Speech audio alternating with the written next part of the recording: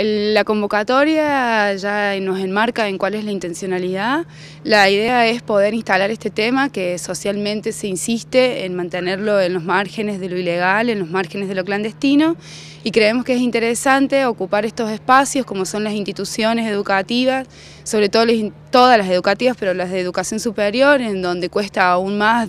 de construir todas las perspectivas machistas y, y cristalizadas que hay en lo cultural.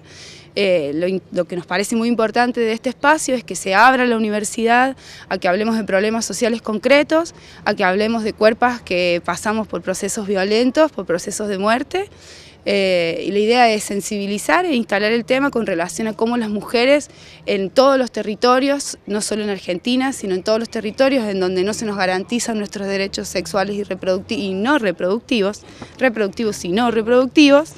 eh, sensibilizar en ese sentido y legitimar que estos temas es muy necesario tratarlos porque esto nos cuesta vidas y nos se lleva puesto además la calidad de vida de muchas mujeres.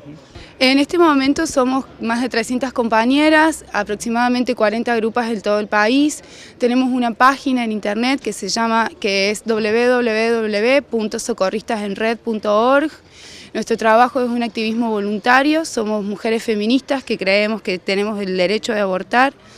Nosotras nos sostenemos entre nosotras y nos acompañamos en esos procesos. Es un proceso que está atravesado por entendernos como afectadas y a trabajar desde la afectación en el encuentro con la otra.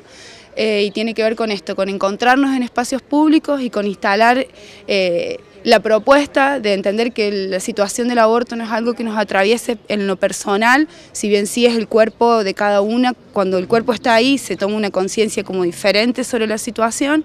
y nos parece que nuestro trabajo sobre todo reside en despenalizar socialmente el aborto y sostener una lucha colectiva con otras organizaciones a nivel nacional y locales también en cada territorio con relación al acceso a la legalización del aborto libre, legal, seguro, gratuito y